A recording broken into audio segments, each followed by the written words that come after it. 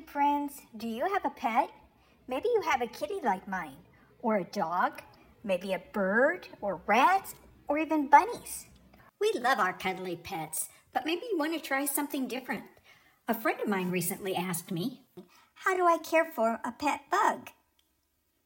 Many people around the world keep insects as pets. It's not so popular here in the US or Canada. They're easy to care for and they can be fun to watch. Do some reading to decide just which insect you might want as a pet in order to have the right critter cage and necessities. Your critter cage might be a large half gallon jar or a collapsible net cage you can buy from a store, or you can even build your own screen house if you have the tools and an adult to help you follow the plans. You want to make sure you have a secure lid to prevent escapes, and a lid made of screen gives your pet plenty of fresh air.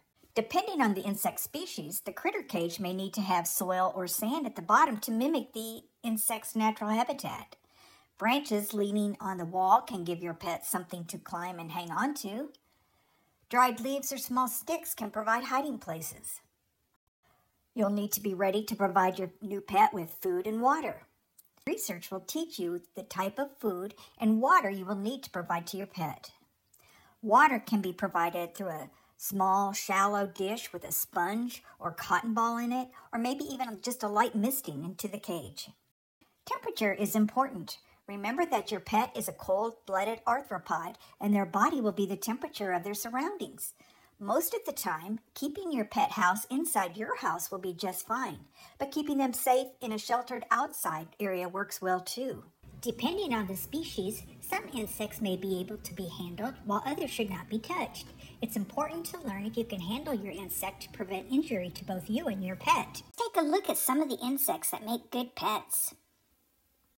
To me, the butterfly metamorphosis is one of the most exciting and amazing transformations in nature. Spring might be the best time to find small butterfly caterpillars on milkweed, swallowtails and fritillaries on Queen Anne's lace in the wild, or in your herb garden on fennel or dill.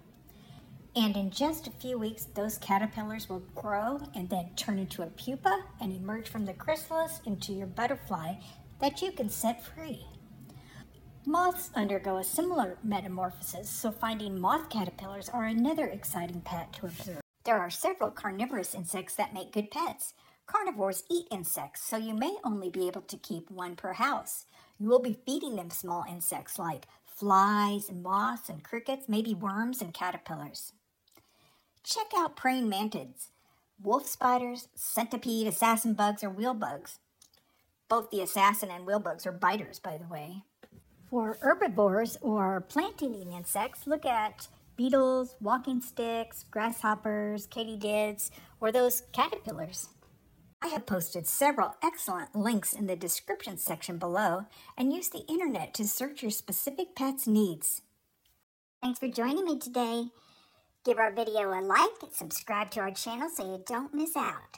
See, See you in, in the garden. garden. Ask Dr. Bug originates from the Kids Ask Dr. Bug column, written by Dr. Tamra Reall, horticultural specialist with the University of Missouri Extension. Her column can be found in garden publications, newsletters, and extension websites. Do you have a question for Dr. Bug? Send them to reallt at missouri.edu Put Ask Dr. Bug in the subject and include your name and age. Or ask your questions online at the address listed here.